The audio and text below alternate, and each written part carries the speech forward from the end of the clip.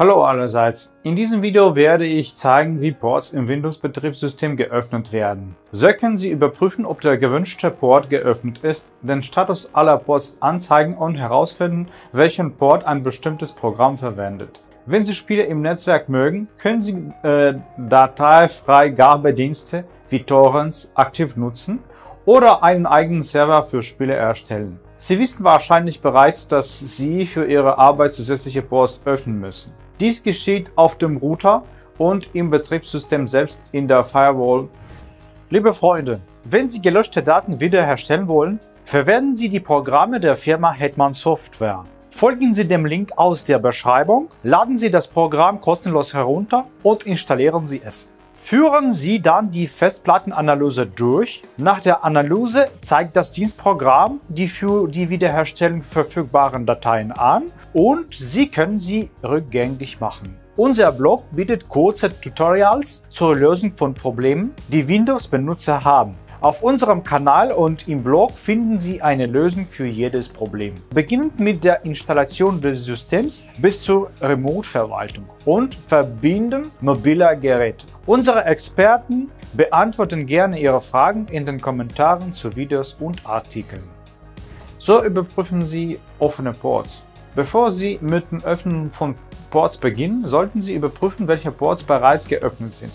Hierfür gibt es spezielle Programme, die für jedoch mit Standarddienstprogrammen des Betriebssystems ausführen können. Führen Sie die Befehlszeile als Administrator aus und geben Sie den folgenden Befehl ein. netstat aon. Dieser Befehl gibt an, dass Sie Informationen zum Status von Netzwerkverbindungen und Ports anzeigen müssen. A. Sind alle Verbindungen und anstehenden Ports. O. Ist die Ausgabe der Prozess-ID, N ist die Nummer und die Portadresse in numerischen Begriffen. Wenn Sie Informationen äh, Seite für Seite anzeigen möchten, müssen Sie am Ende noch mehr hinzufügen. Nach Eingabe dieses Befehls wird das Ergebnis in Form einer Tabelle auf dem Bildschirm angezeigt. Nun mehr zur Notation. Listening. Port hört zu. Established. Eine Punkt-zu-Punkt-Verbindung wird her hergestellt. Time Wait überschüssige Antwortzeit. Close Wait. Verbindung wird geschlossen. So finden Sie heraus, welche Ports ein bestimmtes Programm verwendet. Um herauszufinden, welchen Port ein bestimmtes Programm verwendet, müssen Sie diesem Befehl den äh, Buchstaben B hinzufügen, der für die Anzeige des Prozessnamens zuständig ist. Infolgedessen sehen Sie hier auch den Namen des Programms, das diesen Port verwendet. Überprüfen Sie den Online-Port. Es gibt auch Online-Dienste zum Überprüfen offener Ports. Zum Beispiel hm, äh, 2IP äh, oder äh, PortScan. Ein Link dazu befindet sich in der Beschreibung. Hier müssen Sie nur die Portprüfung auswählen. In dieser Zeile den zu überprüfenden Port eingeben und auf Prüfen klicken. Dann wird das Ergebnis unten angezeigt. Port ist offen oder Port ist geschlossen.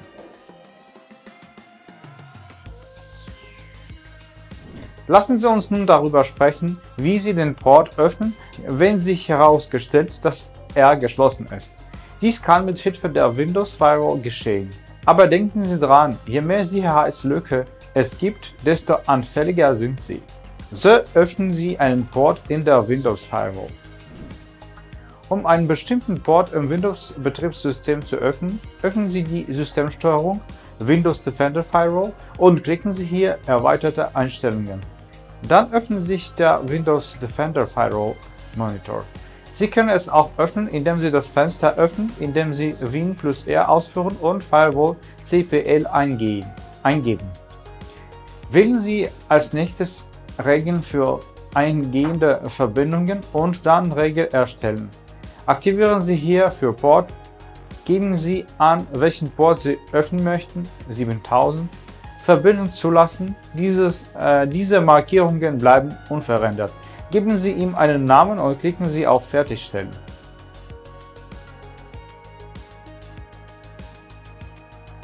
Erstellen Sie auf die gleiche Weise eine Regel für das UDP-Protokoll und zwei weitere Regeln für ausgehende Verbindungen.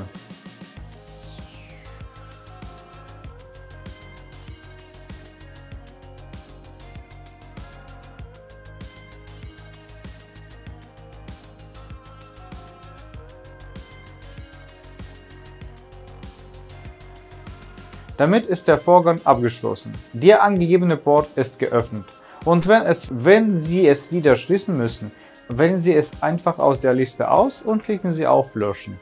Wie man einen Port über die Befehlszeile öffnet. Eine andere Möglichkeit, Ports unter Windows zu öffnen, ist die Befehlszeile.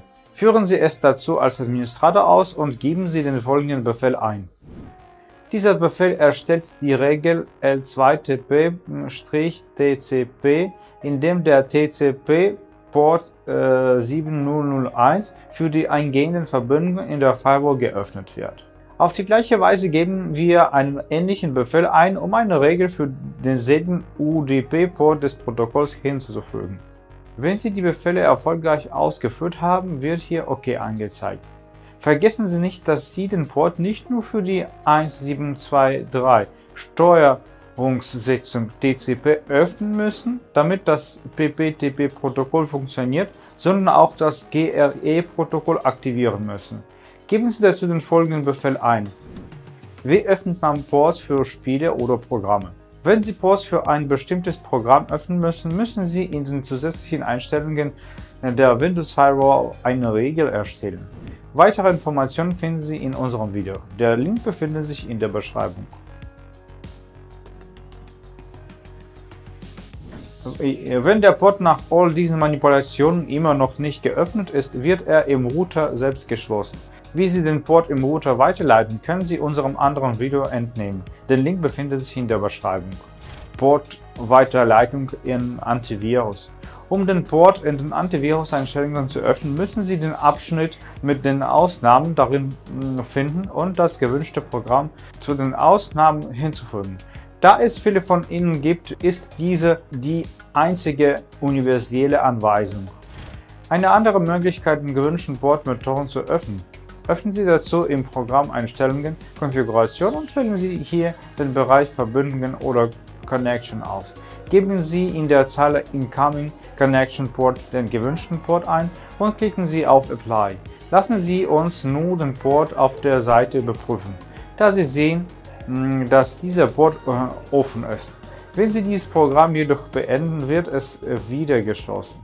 Warum sollten die Ports 80 äh, und 443 offen sein? Unter den vielen Ports gibt es Ports, die standardmäßig von gängigen Programmen verwendet werden. Beispielsweise werden die Ports 80 äh, und 443 im Browser verwendet. 80 für normale Verschlüsselung und 443 für eine sichere verschlüsselte Verbindung. Wenn diese Ports geschlossen sind, können äh, beim Herstellen einer Verbindung mit der Gaming Cloud und anderen Diensten bestimmte Probleme auftreten.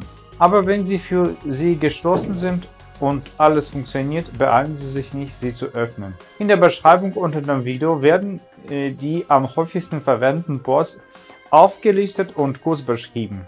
Und das ist alles. Daumen hoch, stellen Sie die Fragen in den Kommentaren. Vielen Dank fürs Zuschauen, alles Gute, tschüss.